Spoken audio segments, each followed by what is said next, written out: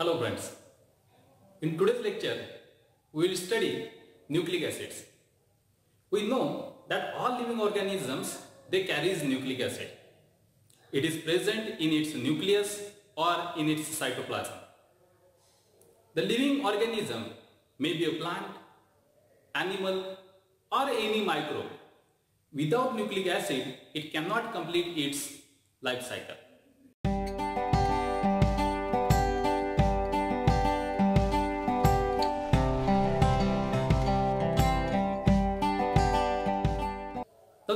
Acid was firstly identified by Friedrich Miescher in 1869.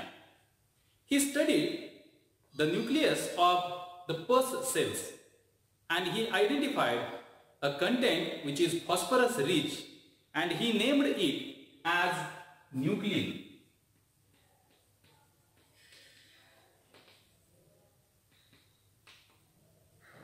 Later on, with the progress of the study and with the progress of understanding, it came known that this molecule, the nuclein, it consists of carbon, hydrogen, oxygen, nitrogen and phosphorus.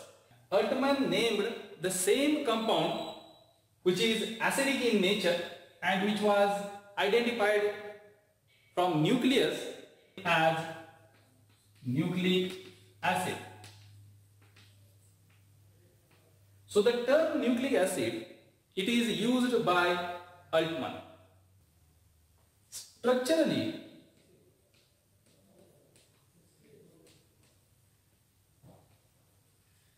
nucleic acids are polymers and these polymers are made up of many monomers that is the building blocks which are linked with each other. Therefore, nucleic acids are polymers and they are made up of nucleotides.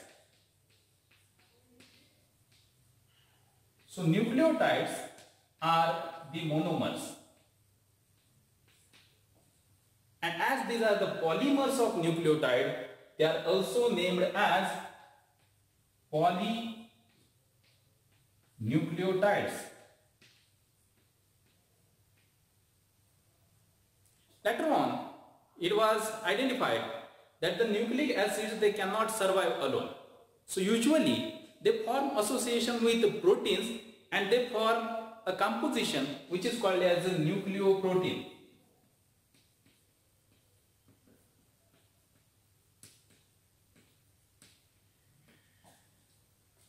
Now for simplicity, in this lecture we are not going to deal with these proteins, rather we will concentrate only on the nucleic acids. Now what is a nucleotide? What is the structure of the building block nucleotide? Nucleotide, it consists of three parts.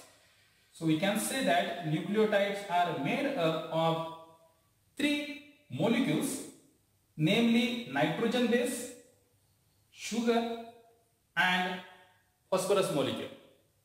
So nucleotides consist of nitrogen base, sugar and phosphate. Nitrogen plus sugar molecule is called as nucleoside and nucleoside plus phosphorus becomes nucleotide.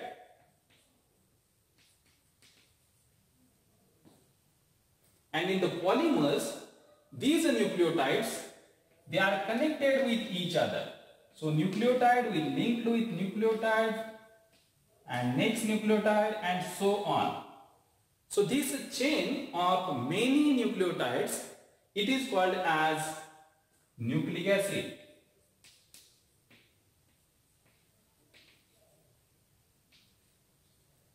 Now, we will try to understand which are the nitrogen bases, which are different sugars, those are present in the nucleic acid and what is the structure of this phosphorus.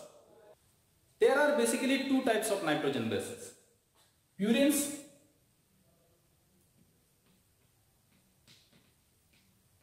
and pyrimidines.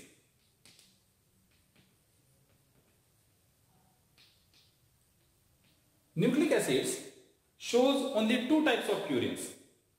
Specifically adenine and guanine. So in all kind of nucleic acids, we will get only two types of purines, adenine and guanine. Here are, whereas there are three pyrimidines, namely cytosine, thymine and uracil. So in all, there are five nitrogen bases, A, G, purines, C, T, U, pyrimidines. The purines are double ringed structures. So they will have a six membered benzene ring plus a five membered imidazole ring. So this is the basic structure of purines. They will have double ringed structure. Whereas pyrimidines, they have a single ringed structure and this structure is the modification of six membered benzene ring. There are two types of sugars. Both the sugars are pentose sugars.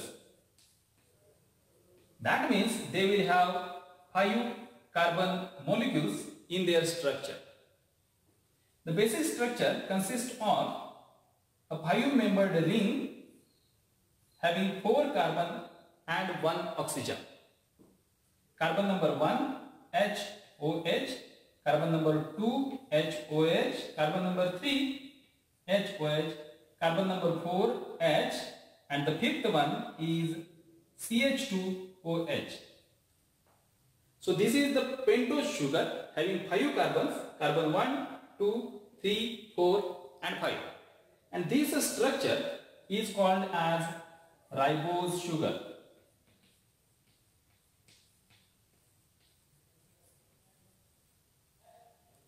Another type of sugar, it is deoxyribose sugar. And in a deoxyribose sugar, we have a five-membered ring, just like as a ribose sugar, with OH at carbon number 1, carbon number 3, 4 and the fifth one is CH2OH. So here one oxygen is less at carbon number 2. In ribose sugar, carbon number 2 is connected with HOH whereas in a deoxyribose sugar, the oxygen is removed and that is why it is called as a deoxyribose sugar. So we have two types of sugars in nucleic acids, ribose sugar and deoxyribose sugar. And third element is a phosphorus.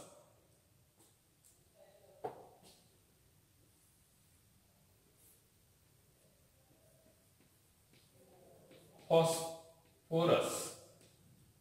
The phosphorus molecule, it is involved as a phosphoric acid. So the formula of phosphoric acid is H3PO4. Structurally, it carries a phosphorus element at the center and it is connected with three OH molecules on three sides and one oxygen with a double bond on one side. So this is the structure of phosphorus. These three molecules together that is a nitrogen base either of purine, pyrimidine linked with pentose sugar, either ribose or deoxyribose and phosphorus molecule. So these three elements together they form a monomer of nucleic acid and that is nucleotide. The nucleic acids are divided in two types. Deoxyribose nucleic acid that is DNA and ribose nucleic acid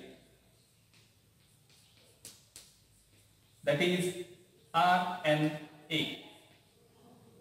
Now this classification is based on the type of pentose sugar. So classification is based on the type of sugar which is present in that nucleic acid. If the sugar is deoxyribose sugar, then that nucleic acid is called as a deoxyribose nucleic acid, DNA. If the sugar is ribose sugar, then it will be called as ribose nucleic acid. So the first difference is in sugar type. So in deoxyribose nucleic acid, DNA, which sugar will be present? It will be deoxyribose sugar. Whereas in case of RNA, the sugar will be ribose sugar. Now the second difference, it lies in the types of nitrogen bases.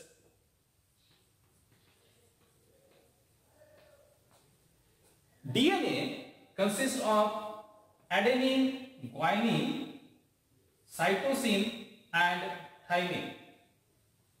Whereas RNA consists of adenine, guanine, cytosine and uracil.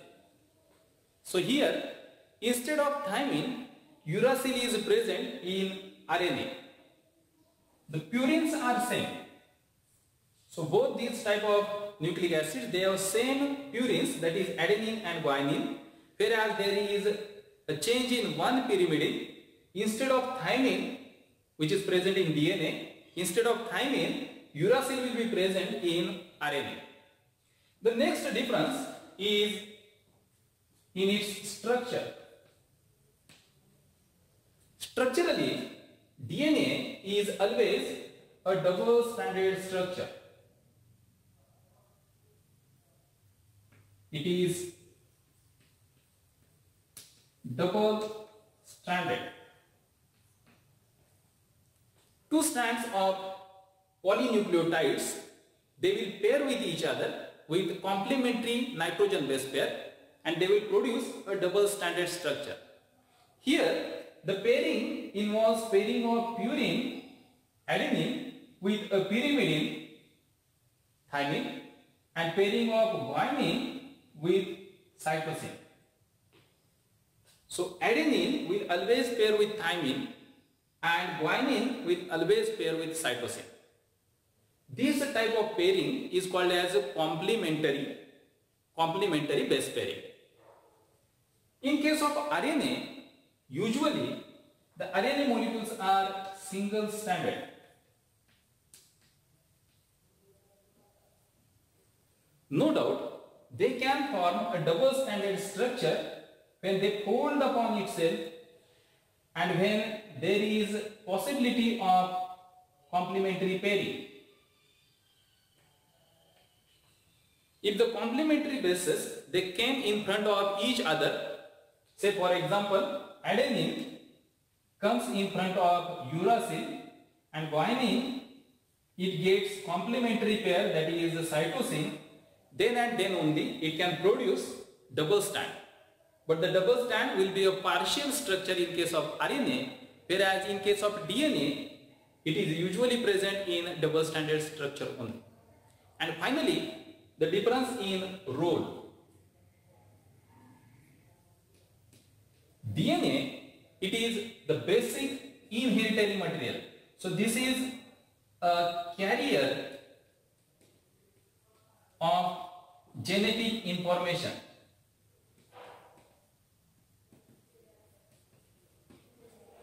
So DNA is a carrier of genetic information. It is an inheritary molecule in all kind of plants, animals and bacteria.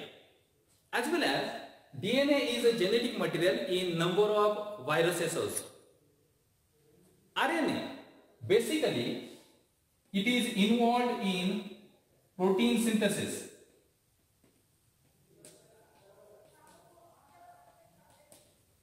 So RNA is involved in protein synthesis. Therefore, usually it is present in cytoplasm. The genetic carrier, it will be present in nucleus. DNA will be present in nucleus, whereas RNA will be present in cytoplasm only due to its role in protein synthesis. But there are a few exceptions. There are certain viruses which carries RNA as a genetic material and such viruses are called as RNA virus. For example, HIV which causes AIDS and H1N1 that is the swine flu virus. So in this way few viruses they carry RNA as a genetic material. Now with exception of these RNA viruses all other living organisms they will have DNA as a genetic material and RNA as a protein synthesizing machinery. So this is a brief account of nucleic acids. Just we will have a revision. Nucleic acids are polynucleotides. Nucleotides are the building blocks of nucleic acid. Each nucleotide consists of nitrogen bases which are of five types A, G, C, T and U. Second component of nucleotide is sugar. Sugar may be ribose sugar, a pentose sugar or deoxyribose sugar. Both are pentose sugars. And phosphate which is present in form of H3PO4. Together they form a unit called as a nucleotide. The nucleotides are connected with each other to form a polymer chain and finally this polymer chain is nothing but nucleic acid. On the basis of sugar type, we have two types of nucleic acids, DNA and RNA. So this is all for today's lecture. In the next lecture, we will see the structure of DNA. Till then, take care, stay home, stay safe. Thank you.